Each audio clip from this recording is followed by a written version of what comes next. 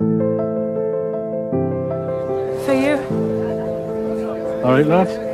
How come they're getting all that stuff? I've lost everything. I've left a war zone. She's taking your photo there. You better delete that photo. They're just kids, man. Let them get in their house and get settled, man. I'm really sorry that happened. Can I say I'm surprised if you had the stuff that come out with him in the pub. This has become a dumping ground, lads. We've been in this village all our lives, and we're supposed to share it with that lot We don't even know them. Thank you for your kindness when we arrived. I really appreciate it. My name is Yara, by the way. What's yours? Tommy Joe Ballantyne.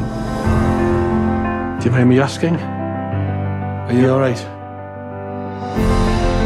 When I was a little girl, I wanted to be a photographer and travel the world. If you've got a moment and you'll come back to the pub with me, I wanted to show you the photographs in here. Whole way of life, just gone forever. When you eat together, you stick together. My mother always said that. Some of the locals are struggling too. Everywhere's closed. Even the school's gone. We can't even look after our own. Just going from bad to worse, isn't it? Imagine if all the families mix and start to eat together.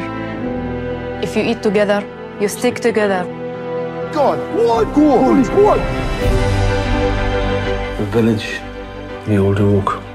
We need this. It's like a bloody refugee camp. And watch your mouth, pal.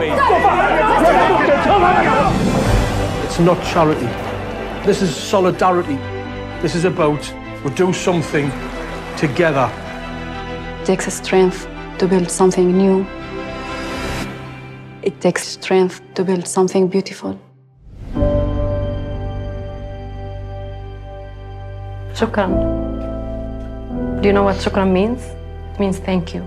Shukran. Shukran.